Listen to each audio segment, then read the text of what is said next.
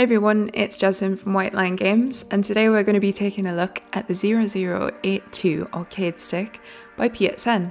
So let's get straight into it and start with what's in the box.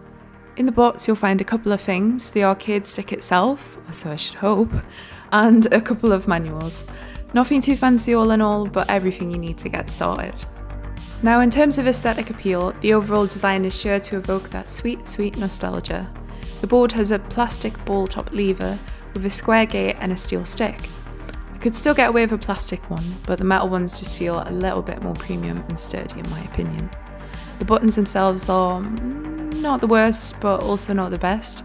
They don't really have any resistance to speak of, but they do have a nice spring back and quick response. Overall, the fighting stick has an iconic yet minimal profile that wouldn't look out of place on a modern desk setup. What I really love about this edition is that we also have some beautiful retro colours on the buttons, which really pop to make it stand out. Right here we have a rubberized wrist rest. I dare you to say that really fast so when you've had a couple of drinks. We also have four sturdy suction cups on the back that make you feel as though you're trying to pick up Thor's hammer when it's stuck to a smooth surface, which is probably what you want when you're trying to hit those combos in Mortal Kombat. Now let's talk about compatibility.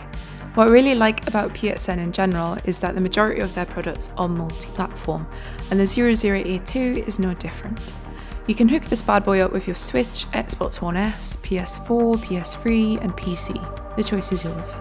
As you can see, I've linked it to my Xbox and I've been testing it out with games such as Killer Instinct and Mortal Kombat 11. I've not yet tried it with any classic arcade games or 2D platformers, but I imagine it would also work quite well with them. So what about modability?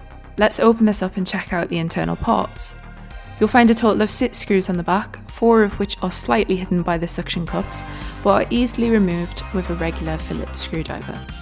Now if you do decide to open this up, be mindful of connecting parts attached to both sides.